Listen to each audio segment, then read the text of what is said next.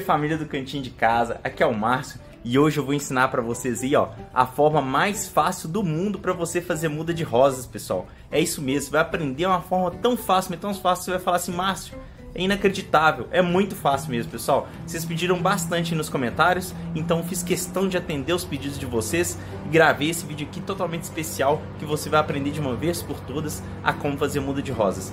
Então, desde já, se você gostar do vídeo, deixa o like, compartilhe com quem ame rosas igual a você e vamos pro conteúdo, pessoal.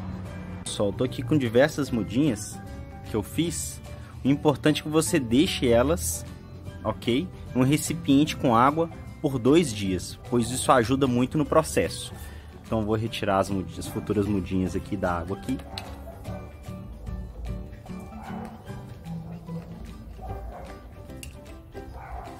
É muito simples, pessoal. Vocês não vão acreditar na facilidade que é para você fazer muda de rosas depois desse processo que eu ensinar para vocês. Para você saber o lado certo que você tem que plantar, o espinho sempre tem que estar tá apontado para baixo assim, ó com ângulo para baixo. E você sabe que esse é o sentido correto, ok? Vou deixar as mudinhas aqui. Eu vou usar dois processos diferentes. Um com areia e um com terra. Para você conseguir ver a diferença de desenvolvimento entre os dois sistemas. O que, que você vai precisar fazer?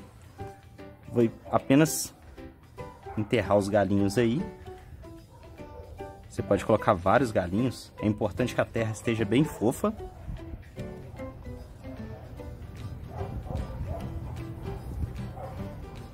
Ah, Márcio, eu posso tirar os espinhos? Não é recomendado não. Você pode acabar danificando a sua planta aí para sempre se você fizer isso.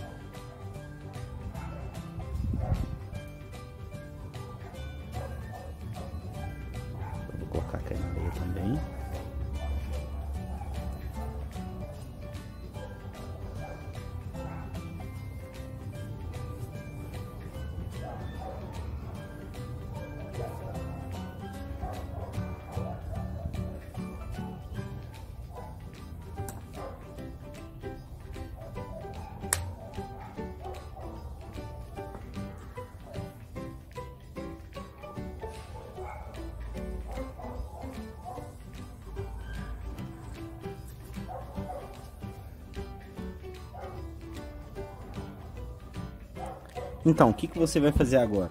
Você vai regar bastante o sistema. Vou usar a própria água aqui. E agora eu vou regar com a parte com a terra. Como aqui em Belo Horizonte está fazendo muito frio, eu não vou usar o esquema de estufa. Eu vou só reservar as mudinhas num local que não vai bater sol diretamente, mas elas vão ter grande incidência de claridade, apesar de não pegar o sol diretamente. Aqui eu deixei elas num local onde elas não pegam sol diretamente e vou mostrar para vocês o resultado. Agora eu vou mostrar para vocês aí o resultado após 5 dias que eu plantei as mudinhas aqui e vou mostrar para vocês a diferença que há entre você plantar na terra para você plantar aí na areia para você gerar suas mudas. Então, pessoal, como você pode ver aqui, a muda na areia, ela se desenvolve incrivelmente mais. Olha só para você ver o tamanho dos brotos após cinco dias. Incrível, né? Olha só para você ver a diferença, como é que esses brotos aqui estão bem mais modestos, né? Só aquele ali que tá um brotinho mais protuberante. Mas deu broto também. Mas igual esse aqui, não. Então, pessoal, eu molhei esse aqui de 3 em 3 dias. Você pode deixar aí a sua mudinha nesse sistema aqui por mais em torno de uma semana, ele vai começar a gerar as raízes aí, você já pode plantar ela no local definitivo e você vai ter uma muda nova de rosas maravilhosa. Então, pessoal, compartilhe esse vídeo aí com quem gosta de rosas, quem ama rosas, pois com certeza essa pessoa vai te agradecer bastante. Espero que vocês tenham gostado do vídeo. Deixe suas dúvidas nos comentários, que eu já falei para vocês que eu faço questão de responder para todo mundo. Espero que todo mundo fique com Deus e abraço. Até mais. Até o próximo vídeo. Tchau, tchau.